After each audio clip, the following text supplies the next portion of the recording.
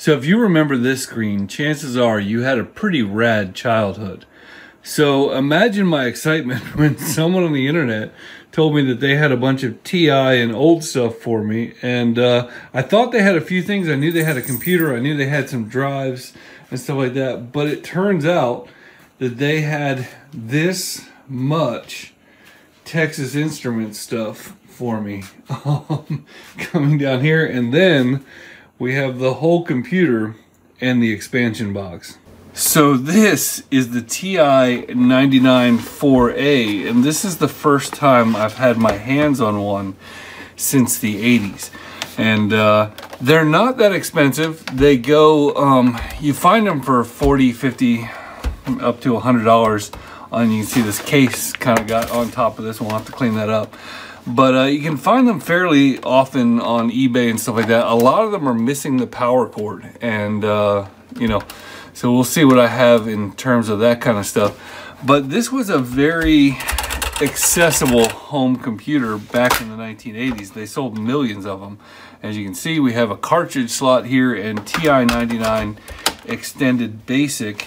And most people either got their software on cartridges and if they wanted to save anything, they would save it on cassette, which was always fun. Um, that being said, there was an accessory for this thing. This computer, I think, started out around $600.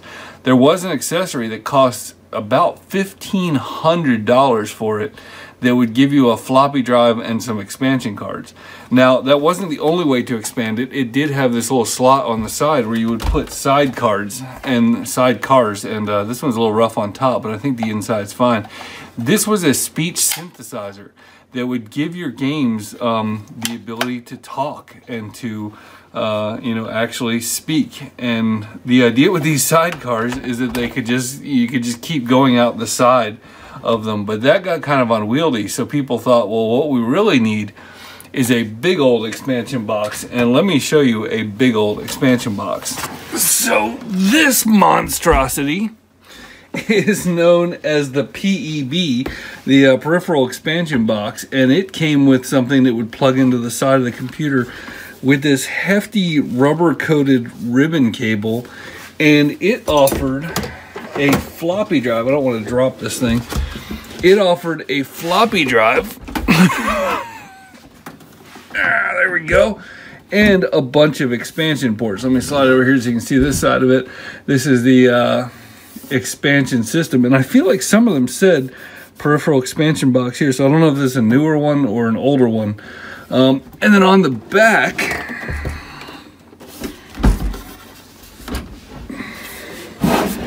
you can see that various cards would stick out the back if they had something to expand. Now my understanding is that this one has an extra 64K of RAM as well as these other expansion cards. So let's take a look. Now I've got the cover off this thing and I'm going to pull this out. This is the Texas Instruments flex cable interface, which is what uh, connects this thing to the TI-99. I'm going to get this out of the way because it is in the way. And as you can see, we've got extra cards in here. So let's start sliding them out and generally looking at them. This has got, uh, that would be a parallel port and then I don't know what this thing is on the bottom, but this is an RS-232. So I guess it's a serial port. Um, it's an RS-232 card. And again, I have no idea what that little connector is on the bottom. So one of the things, I used this computer as a kid. We obviously did not have the expansion bus. And um, I was like five and six years old. So although I have a lot of fond memories of using it, I definitely did not understand any of this kind of stuff back in the day. So we've got a 32K uh, memory expansion in here. And then we have, which may have been upgraded, he said 64. So I don't know if that was just misremembering or what. But um, then we have the disk controller, which is attached to this floppy drive over here. So that's pretty much all that's in here. It's all power supply and floppy drive. I think there may be more of these things. So there's also not one, but two external floppy drives. And uh, these are 90 kilobyte floppy drives. And uh, They were $500 each, and the controller for this thing was $300. Um, so software on floppy for the TI is relatively rare, but I got a pile of that. Before we get to the uh, software, I'd like to take a look at some of the bonus hardware that was included. All right, so what was in the box? Well, another TI-99, and what was below that? Another TI-99, missing one key, but knowing this guy, he probably saved it.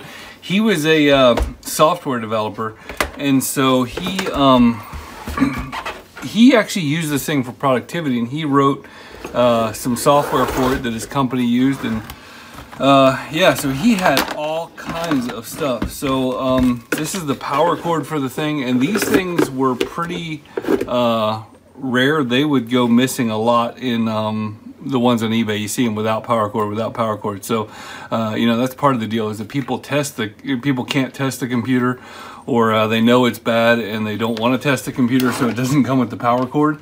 Um, but I've got one there at least. We'll see if there's any more. Um, securities analysis. Like, see, this guy was, I mean, he had some games, but he was also into, um, you know, writing software and assembly language and, you know, all that kind of stuff. So, uh, we have a Centro. Oh, that's what that thing was for. On the bottom of that RS-232 thing, there was a place to put a little ribbon cable like that. And this is a Centronics 2, whatever that is, 12, 15, 20 pin uh, connector there. And then we've got this doohickey, which looks somewhat homemade. This is a, oh no, is this a, okay, no, this is a video cable. So this would let it use composite out, I'm guessing, is the plan. And this looks definitely homemade. And then we've got a normal power cable right here.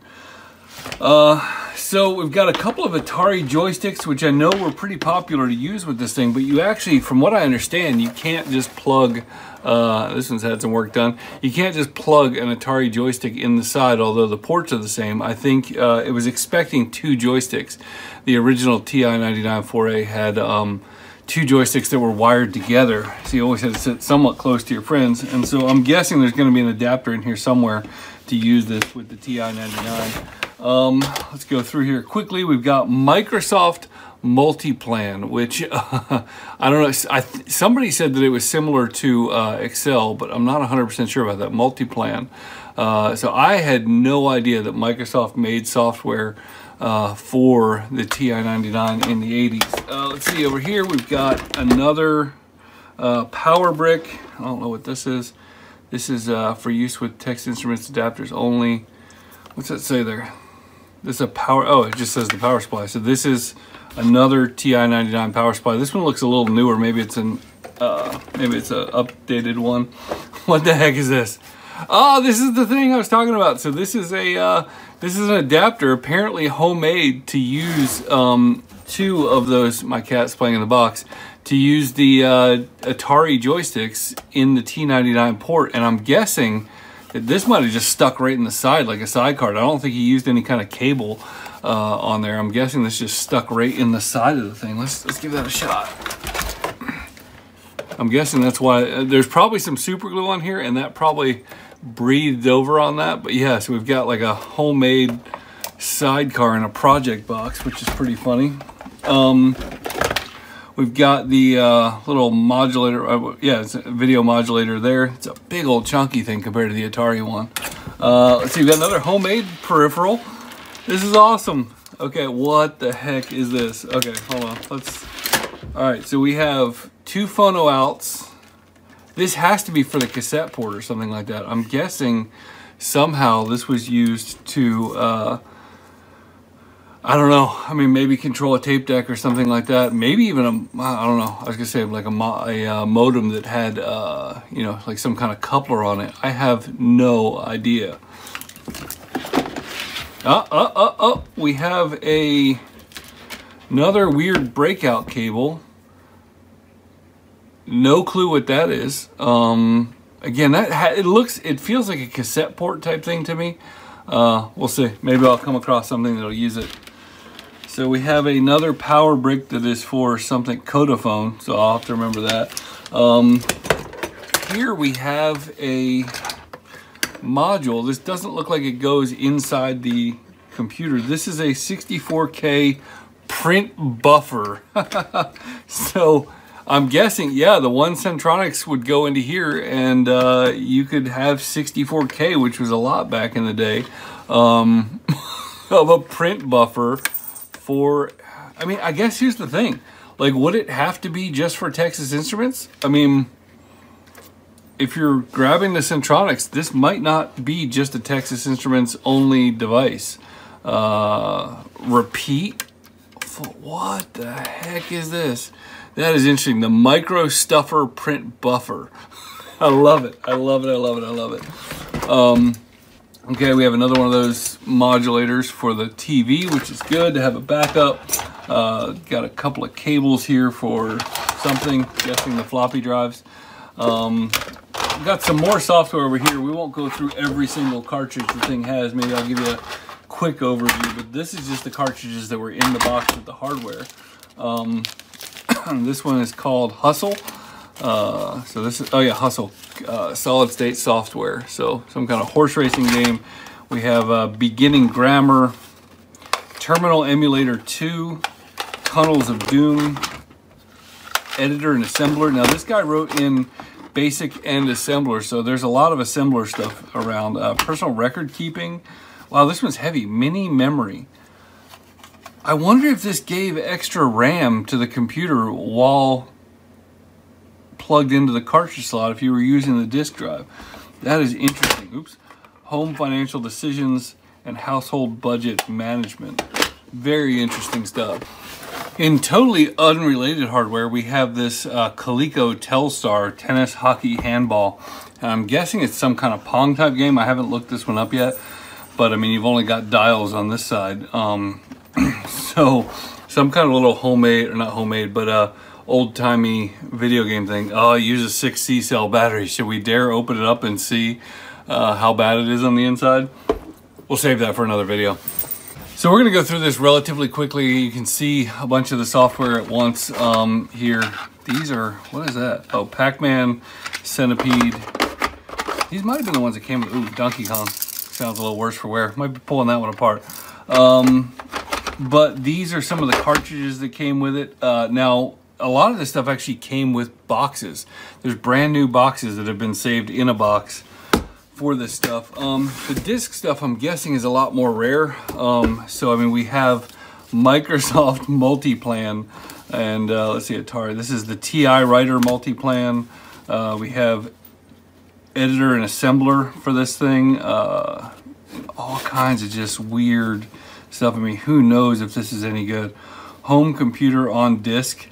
Uh, I'm probably going to need something like a Greaseweazle or one of these other, uh, you know, things that are made for recovering this kind of software to back this stuff up. And I definitely want to back it up. Uh, we're not going to go through every bit of it, but we have business and games and Funnelweb and PR base. So I'm guessing an early database and uh, more games and more games and uh, multi-plan and Ghost, Q-Birth, Midnight, I guess that means Q-Bert. Um, you know, wow, just all kinds of weird stuff. Structural Engineering Library, Moment Dynamic Concrete and Trust. Uh, so this is, I mean, uh, yeah, I mean, there's just crazy amounts of software that probably hasn't been seen in a while. Better banners. Like, I mean, I could imagine for the Commodore, I could imagine for the early IBMs, but I'm guessing banner software for the TI-99 is pretty dang rare.